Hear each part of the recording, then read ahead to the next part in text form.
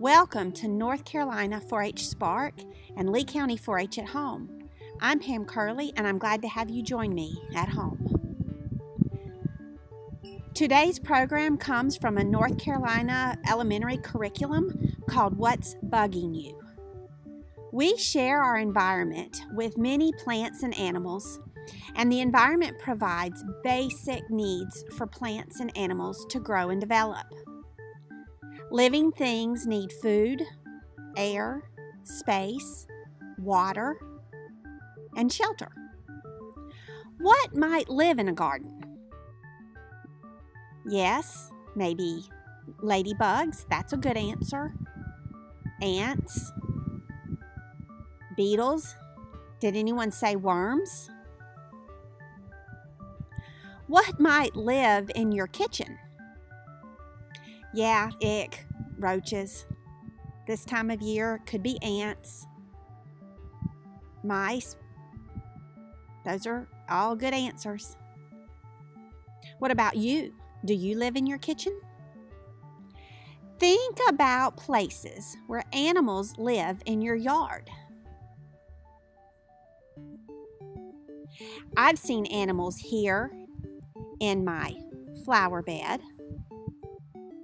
I've seen animals here in my horse pasture. I've seen animals here in my garden. I've seen animals here in the edge of the woods and in the woods. Where have you seen animals in your yard? Not only your pets and family members, many people, when they think of animals, they think of mammals. Birds, such as robins and squirrels, maybe your pet dogs and cats, and of course the horses that are in the pasture. But most animals are smaller and more abundant. We share the world with a great diversity and abundance of life. In a moment, you will choose three different spots in your yard, like the spots I showed you in my yard, and you will think of three different food sources that you can use as bait. Cookies, piece of cereal, a chip, a, a pretzel, a cracker, maybe a goldfish, a raisin, an M&M, a piece of candy. Any of things, any of those things might work. On an index-sized card piece of paper, ask an adult to help you write the name of the place in the yard and the item of food or bait that you want to place on that index card. Since I used the word bait, you might have a hint as to what we were going to do next. You will put that paper with the bait choice on top of it. And you'll notice in my videos, I had to use a rock to hold the paper down because it was a windy day. You will leave it for 15 or more minutes. One of mine took 30 minutes. What do you expect will be attracted to your bait in that area?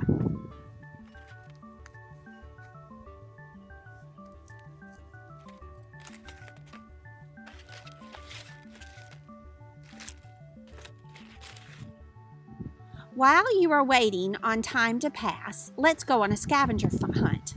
First, let's go find five different types of leaves that you can find in your yard. That is a redbud leaf, maple leaves, buttercup leaves, clover leaves, and holly leaves. Now go and find two different types of tree bark patterns. That is the unique bark of a river birch tree, and that is an oak tree. Now look around your yard and see if you can find three different types of birds. That is a bluebird sitting on the wire. That is a mockingbird flying away. Those are crows above the trees. Can you find any natural shapes in your yard? Maybe a triangle or a circle, a square, or a rectangle? How about a quadrilateral or a multi-sided shape? Now I would like you to go and find something that you think is interesting.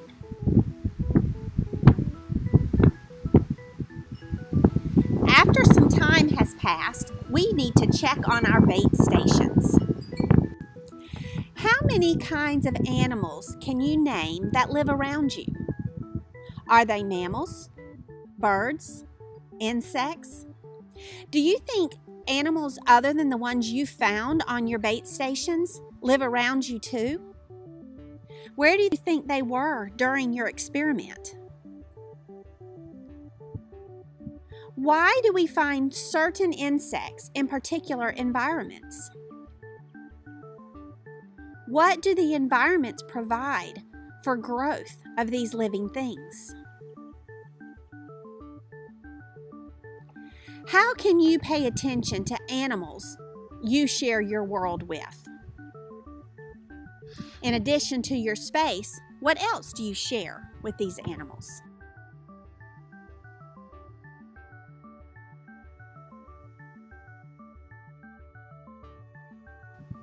No matter what kind of plant or animal we might be, we all need things to stay alive food, air, water, space, and shelter. We humans often provide these necessary things for other living beings.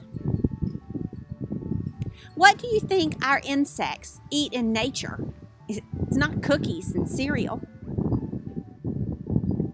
What do they drink?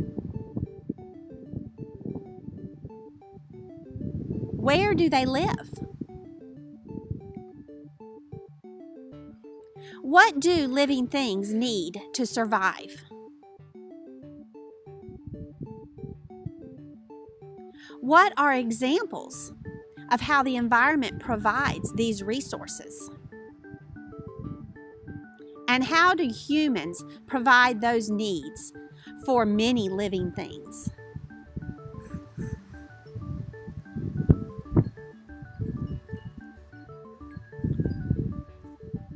So, I learned a lot putting together this insect video for you all. Um, one thing is I have a whole lot of fire ants in my yard that need treatment.